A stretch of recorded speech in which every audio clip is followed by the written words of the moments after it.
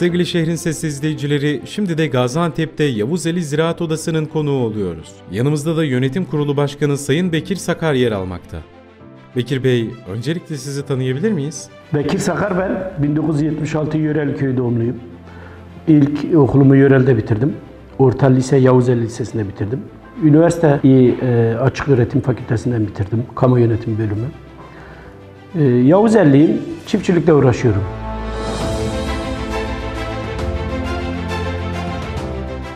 Bize buradaki tarımsal faaliyetlerinizden bahseder misiniz? Yavuzel'de bizim e, iklim şartlarımız yani e, çok iyi. Her şeyi ekebiliyoruz.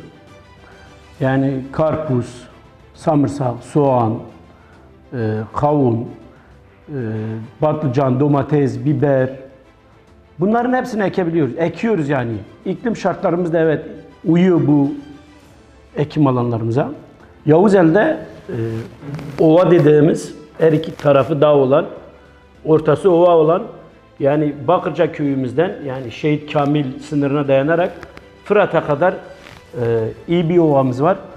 Tabi bunun e, Fırat'ın bir e, 7-8 kilometre yakınına kadar ova, kalanı fıstık ağaçlarımız var.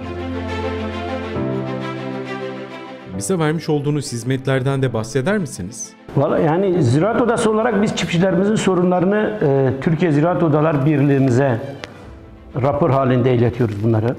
İşte çiftçinin en büyük sorunu gübre, mazot, ilaç ve enerji. En büyük sorunumuz bu.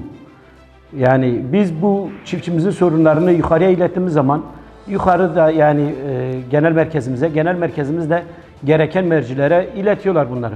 Şimdi bu seneki de desteklemeler yani Tarım Bakanlığımızın e, %50 hibeli sulama, basınçlı sulama sistemlerinde, projelerinde %50 hibe destekleme veriyor. Aynı zamanda %50 yine güneş panelinde sulama alanlarında, GES değil de sulama alanlarında güneş paneline %50 destekleme veriyor.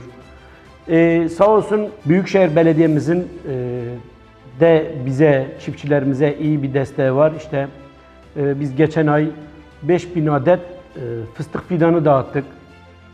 E, ondan önce e, arpa, buğday, yani hani akla gelmeyecek şeyleri Büyükşehir Belediyesi destekliyor bize ama yetiyor mu?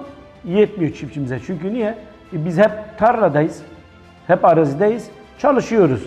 E, haliyle e, biraz girdiler yüksek olduğu zaman çok aşırı derecede bir şey kazanamıyoruz yani.